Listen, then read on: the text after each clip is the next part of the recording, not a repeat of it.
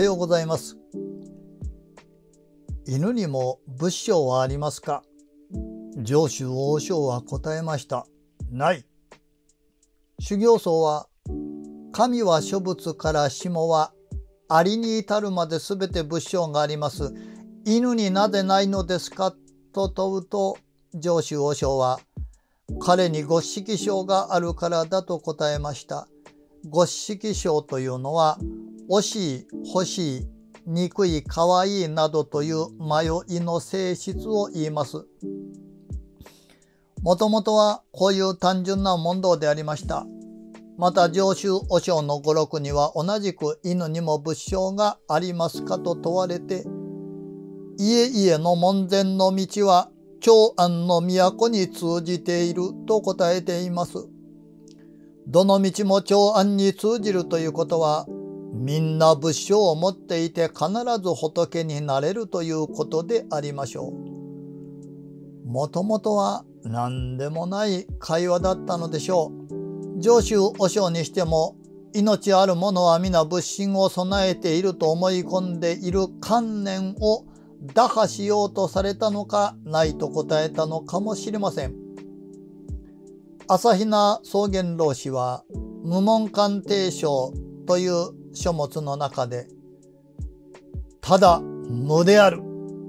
有無の無でも虚無の無でもない。強いて言えば絶対の無だ。だからこの層の引っ掛けようとした罠など届きっこはない。全く模索不弱だ。しかし上州はこの無の一時によって仏性の絶対性普遍性を百千万元を費やす以上に明瞭に力強く吐露されたのだ。寸鉄人を指すというが、この一個の無地が魔のついた担当のように高来、いかに数多くの祖師方の生命を奪ったか。本書の著者無門も仏光国師も白院も皆この無地によって大師一番されたのだ。前者の眼から見ればこの一個の無地が一大増強でもあり全宇宙でもある。いなるかな無地。と述べておられるように特別な意味を見出していったのでした。このように無の一時を特別に取り上げてこの無の一時を全身全霊を挙げて工夫せよと壮大の禅では説かれるようになりました観那禅とも呼ばれます。360の骨折8万四川の合教をもって通信にこの義談を起こしてこの無の字にさんぜよと無門観を編纂した無門絵界禅師は示されました。360の骨と8万4千の猛攻を上げて全身丸ごと疑いの塊となりただ一つの無地に参じて昼となく夜となくこれを引っ提げようというものです。虚無の無であるとか有無の無であるといった理解をしてはいけないとも言われているのです。ではどうすればいいのかというとただひたすら無になりきるのみなのです。その様子を無門館では真っ赤に焼けた鉄の塊を飲み込んだようなもので吐き出そうにも吐き出すことができないのような状態になってそれまでの誤った認識を根絶やしにしただ無地のみとなってその状態を保てばいずれ内と外とがおのずと一つになるだろうと説かれています。ここを朝比奈草原老師は、この熱鉄眼を鈍量するがごとくに愛にてはけどもまた吐き出さず、従前の悪地や過去を投人し、これは文字と自己と一枚になって進む様子だ。もし我々が真っ赤に焼けた鉄の玉を飲み飲んだとしたらどうだ重々と音を立てて五臓六腑は焼けただれてしまうであろう。文字もまたそうだ。無地一つになりきって座ると平勢の意識は熱鉄眼にあった五臓六腑のように跡も型もなくなってしまう。ただしそれは本当になりきって座れた時にはだ。はじめはなかなかそうはいかない。少しなりきったと思うとポカポカっと雑念が出てくるまたなりきるまた出るまたなりきるこの関係をよく落葉する庭をほうきで吐くのに例える。吐けば散る、散れば吐く、それを繰り返し繰り返して生命の続く限り、文字ならばその根切りなりきってゆく。このところだ。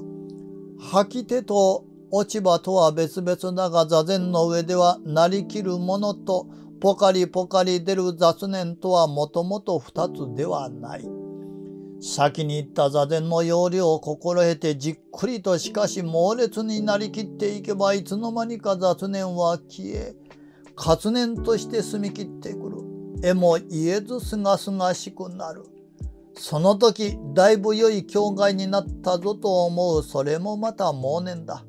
それをも振り払ってただただ無になっていくやがて無になったという心もなくなる進路を極めて絶するというはここだと丁寧に説いてくださっています。要するに全身丸ごとでただ無とは何か疑いの塊になって参じてゆけと説いたのです。この無字を文字通り体で工夫します。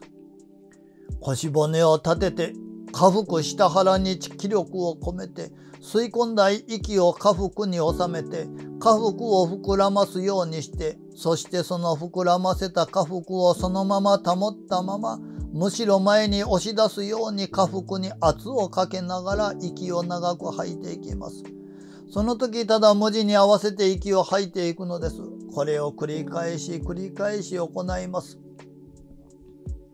こんなことが何に何になるのかと思われるかもしれません。もっと思想的に究明した方が良いと思われるかもしれません。しかしただ、馬鹿になってこんな単純なことを繰り返すのです。そこに大きな意味があるのです。新しく騒動に入った修行僧はこういう修行に取り組みます。すでに数年取り組んできた先輩の修行僧に文字の考案をやってみてどんな感じがしたか聞いてみました。集中力がついたとか、体全身から気力がみなぎってくるのを感じたとか、大きな力が出てくるのを感じたなどという感想がありました。やってみるといろんな気づきがあるものです。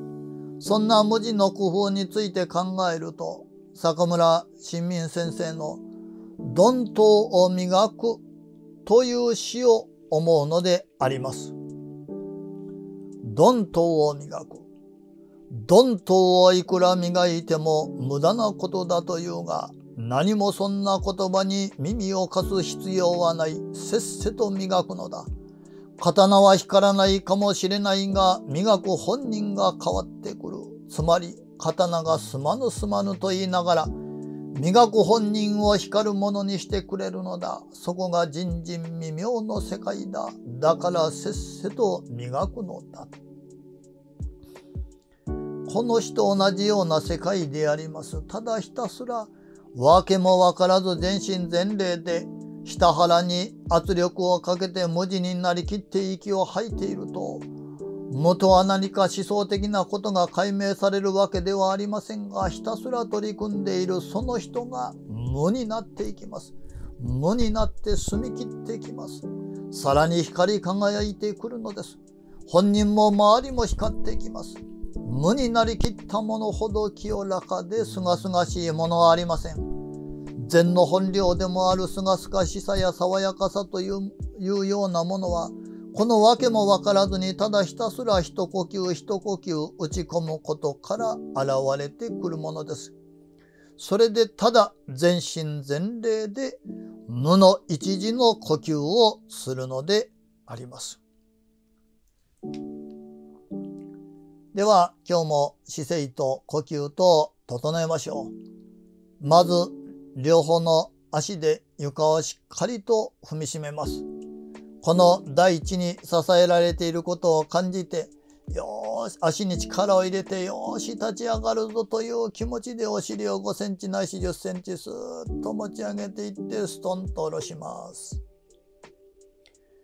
息を吸いながら肩をぎゅーっと持ち上げ持ち上げ持ち上げていって吐くと同時にストンと下ろしてもう一度息を吸いながらぎゅーっっと肩を持ち上げ持ち上げ持ち上げていって吐くと同時にストンと下ろします。最初一息息を強く吐き出します。この時にはお腹の底に溜まっている空気も全部吐き出してしまう。胸に抱えている思いや煩いも全部吐き出してしまうつもりで口を開いて一息強くは